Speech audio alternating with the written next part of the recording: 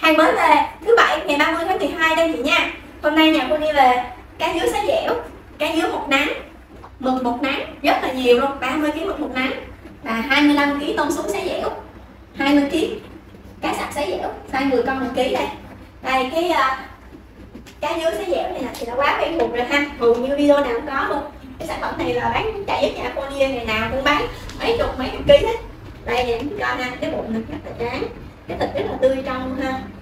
Cái ờ, con cá dứa xé dẻo này nè là mấy anh chị ờ, mà sành ăn á là rất là thích nó luôn á. Nhiều anh chị ở nước ngoài về á là về tới là gọi em làm sẵn cá. À, gửi cho anh chị mười mười mấy ký anh chị đóng thùng đi nước ngoài. Cái dứa xé dẻo này nè rất là ngon luôn. Rồi còn đây là cá dứa một nắng. Cá dứa một nắng là hai cái chị đen rất là rõ luôn nha chị nha. Đây thấy hai cái chị đen này là yên tâm cá dứa cá dứa trăm phần trăm đây anh là cái thịt tôi thấy rất nắng này nó sẽ hơi săn hơn cái tươi. Thịt của nó là tươi vào trong đó còn đây là mực một nắng. Mực một nắng thì em có hai loại luôn chị nha. Một loại là còn da, một loại là lột da. Đây, cái loại còn da đây. Ở đây là cái loại lột da đây. Mùi vị y chang nhau nha chị. Và kích cỡ cũng giống nhau luôn, một ký cỡ ba con. Đây cũng một ký ba con. Chỉ ờ, khác nhau là cái này còn da, còn cái này là lột da. Cái da còn da thì ăn nó sẽ giòn giòn sực sực. Cái lột da thì rất là đẹp mắt ha cái này thì là bà biết nó sảy luôn. Và cái mực một nắng này nè em còn size nhỏ hơn xíu là lột da nhỏ hơn một ký ở nhìn 6 con loại hồi nãy là một ký ba con loại nhỏ hơn là một ký 6 con. Túi như bà là nửa ký là ba con nhịp một hai ba. Đây nè. Rất là ngon luôn ăn thịt nó rất là hồng hào rất là tươi trong luôn. Cái cái mực một nắng này nè ăn nó giòn giòn sực sực và nó ngọt ngọt.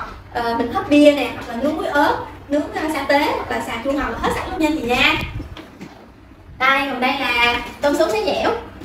À, hôm nay em lên tôm sú xé dẻo để mà gửi cho mấy anh chị đang về quê đồng mà biếu. Cái uh, tôm sú xé dẻo như nè. Đây chị coi ha. Cái thịt của nó là lúc sao lúc trắng lúc sao lúc trắng. Nhìn cái màu thịt của nó hơi là biết đây là con tôm sú đây nè chị nha. Con tôm sú thì cái thịt của nó chắc nè nó rất là ngọt và nó thơm nữa.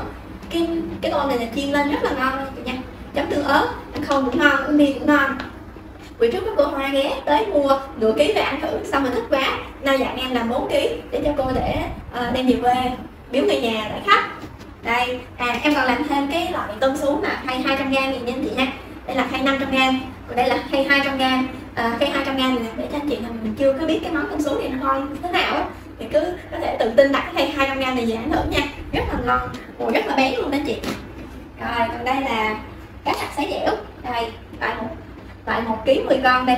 Coi ha cá sặc sấy dẻo thịt rất là dài cái cá sặc này nè thì bị vừa ăn cơm chị nha ăn không thì có thể hơi mặn một xíu ăn cơm thì rất là vừa miệng luôn. Ừ, nay là 30 rồi à, thì còn một hai ngày nữa là tới à, nghỉ tết tây rồi nên là nhiều anh chị á, về quê lắm. Rồi có dặn em là cá khô tôm khô mực khô để đóng hàng cho anh chị trong về quê biếu người nhà. Anh chị mà có cần bà biếu để từ quê hay là mua ăn ở đây để khách thì cứ inbox zalo hoặc là alo hotline để cô đi tư vấn các chị nha.